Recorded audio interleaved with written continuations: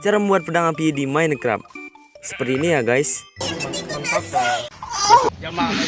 Eh Poppy Poppy, gimana sih caranya bikin pedang di Minecraft? Please help me Poppy buat bikin tutorial. Bacot lu monyet.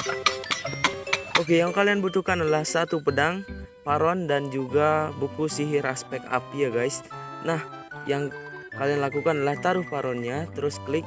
Nah, lalu kalian taruh pedangnya di sini, taruh bukunya di sini dan kalian bisa taruh eh, ganti nama pedangnya bebas ya. Nah, kalau sudah, nah di sini kalian sudah mendapatkan pedang api. Oh my god.